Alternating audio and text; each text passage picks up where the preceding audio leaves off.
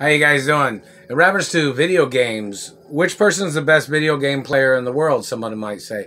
Of course, there's different types of video games, and there's different types of games that people play in reference to, like PlayStation and other game units. So, who's the best video game player in the world? Anybody got any YouTube videos on that? And all the video game accomplishments of mine, I didn't receive any of the monies from any of the accomplishments. There's supposed to be lawsuits and reference to people trying to steal my video game scores. They've been doing this for over 25, 30 years, trying to steal my video game scores and stuff like that.